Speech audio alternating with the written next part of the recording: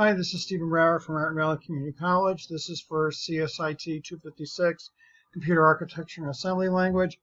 And uh, this video is going to, um, I'm sorry, this is accompanying Stallings Chapter 3. And this video is going to focus on the hypothetical uh, machine so we can see how, uh, get a rough idea of how the processor works.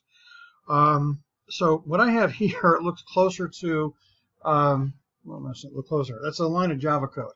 So total sold equals apple sold plus uh, orange sold. Um, and so if we had in memory, you know, for apple sold being 8, orange sold being 6, um, then if after this statement was executed in Java, total sold would have um, E. Well, that's the hex. 14 is what it would be, which is E uh, in, in hex.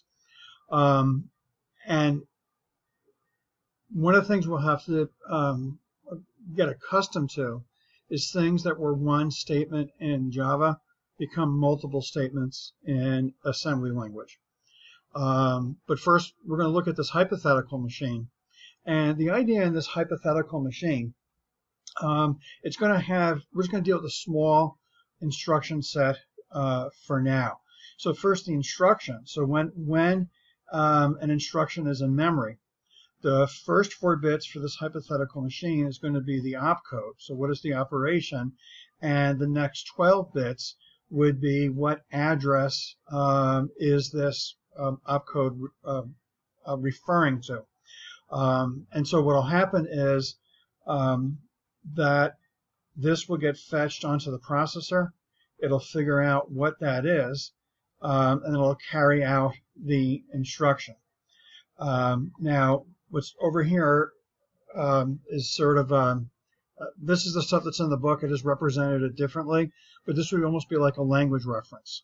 Um, so LD for load, that would be the mnemonic. Uh, mem would be the uh, memory location. Um, and how, um, well, well, for example, so this LD3A7, um, that would be what we would write in terms of like our editor. And then when a compile takes place, we would get the underlying binary. Now, here just representing it in terms of um, hex. Uh, but kind of like, for example, here, this, this LD uh, 940, um, which the, that's the hex uh, um, address uh, in the binary. So the, the LD gets translated into 0001 and well, the, the 940, I mean, that's just a hex, so that's the uh, binary equivalent of that hex uh, value. So for our hypothetical language we have right now, there's a load which uh, loads the accumulator um, from memory. So given a memory address, it'll load into the accumulator. Uh, another command, the st for store, will take what's in the accumulator and store it to memory. Um, a third command, um, the AD, is going to add to the accumulator from uh, memory.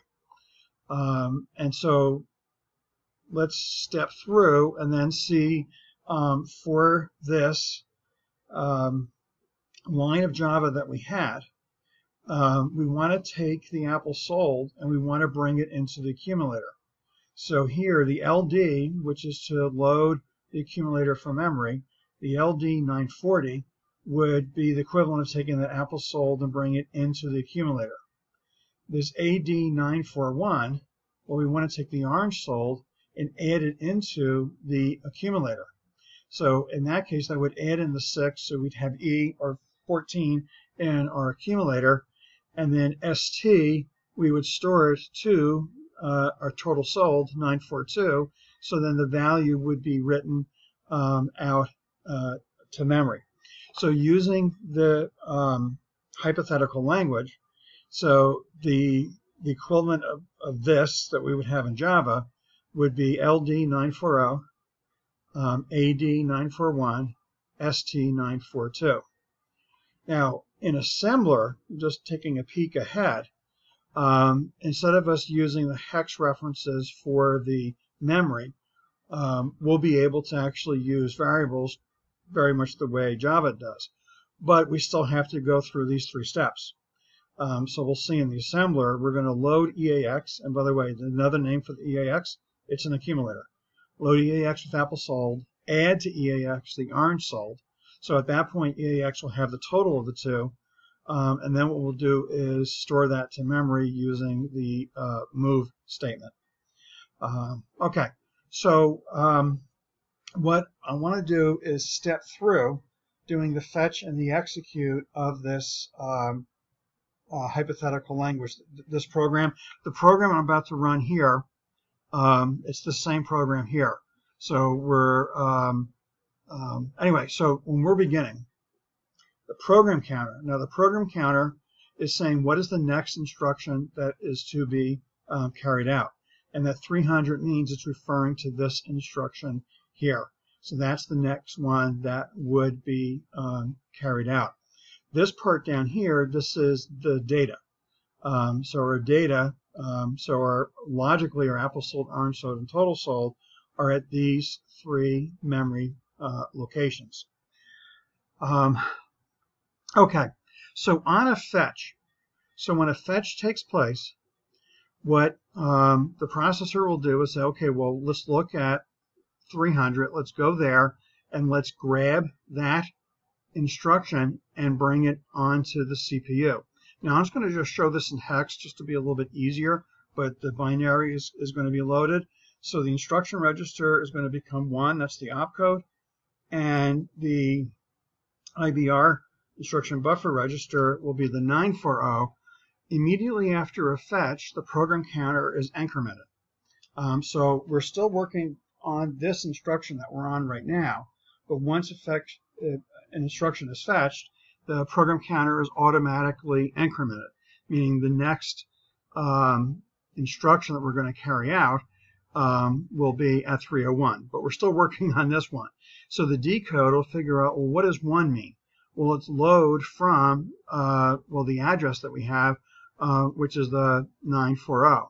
Well, 940 is um, here, and so what will happen is temporarily, I'm not going to show every single little step here, um, but the 8 is going to would go temporarily, I'm sorry, um, yeah, I'm sorry, the 8 would temporarily go into the MBR. But remember, this statement is loading from what's at 940 into the accumulator. So this is going to become 0008, um, and that's the result of the execute of this um, first uh, statement. Okay, so um, now that that um, statement is done, um, we'll go on to um, the beginning of the cycle again.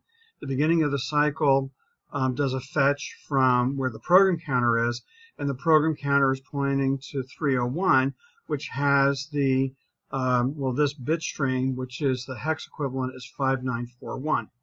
Um, so that instruction is fetched. So the 5 is brought in. The 941 is brought in. And immediately on the fetch, the program counter is incremented, saying the next instruction after this one uh, will be the um, um, 302. Um, okay, so when it decodes what's in the instruction register, the 5, it says add to the accumulator um, the value that's in the memory here. Um, so it goes to 941. The value that's there, uh, well, this is the binary equivalent, but it's the value 6. So that 6 is brought into the memory buffer register. Now when it carries out the add to the accumulator, that 6 is added onto the accumulator, which currently has 8. And so that now becomes 14. 6 plus 8 is 14, and E is the um, hex um, equivalent of that. So that finishes then um, that second instruction in terms of the execution. So we go back to the instruction cycle, and first thing we do is a fetch. Well, the program counter is pointing here, um, and so it'll fetch that instruction. So this bit stream is what will come in. The hex equivalent is the 2942. Um, so this will come in, the 2, the 942, and because we just did a fetch, the program counter is incremented. Um, okay, so now um, when it decodes this, it figures out, well, what it's doing is taking what's in the accumulator, that's E, and it's storing it to 942. Well, 942 is here, and so what'll happen is um, that E is going to be written out to memory. So the storing, and I'll, I'll do it uh, twofold. Um, so the E, um, that's E. so the E that was in the accumulator is written out to memory, and our 942, um, the address 942, which logically is our total sold, now has the value 14, uh, which the hex equivalent is um, E. Um, by the way, one of the things I, I had pointed out um, was that you need the exit statement at the end of your main method. And if you don't have the exit statement, um, the program will continue running. And that's the idea behind it, is that if we don't eventually stop, it'll keep fetching what's in memory, bring it onto the processor, and try to carry it out. Which, in theory, I mean, if the program doesn't bomb before then, in theory, it could keep running until you actually get your data segment. Um, well, that was more in the old days. And now they're separate enough that one wouldn't go to the other. But you could get a memory violation if your program then steps out of memory, um, or the command that's being carried out is a really bad command. Um, so it's it's very important to make sure that we have an end for our program. Um, otherwise, it will keep running um, what's after it. And just to peek back to um, Oops. Sorry, let's try to bring this into view. Um, so in terms of, and we'll see this again in the Irvine um, um, ch uh, chapter 3, um, but this would be the assembly that we're going to be using, the equivalent of it. So the apple sold is going to have 8, the orange sold is going to have 6, the total sold is uninitialized, question mark is uninitialized, um, and then here are the, are the statements. Load the apple sold into EAX, which is our accumulator. Add to the accumulator what's in orange sold, and then take what's in EAX and then store it to memory. Um, so just for um, letting you guys know that this exercise that we're going through um, is to get us um, roughly in the idea of what has to go behind the scenes, that we're um, you know, loading data into the CPU in order to um, have it carry out. Um, now, what the slides from the author has, um, it's not the exact problem that I just went through, but there's a similar one. And now, since I edited this thing in place, when we look at it right now, this is the result of the uh, after 302 is executed. It's it's the uh, the end result. What the author has is he has this table that kind of shows, well, here's the fetch and execute of the first statement, here's the fetch and execute the second statement, here's the fetch and execute of the third statement.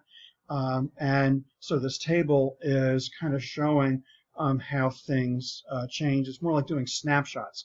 I didn't do any snapshots of what I had here, and so when we're looking at this, we're only seeing the, the final result.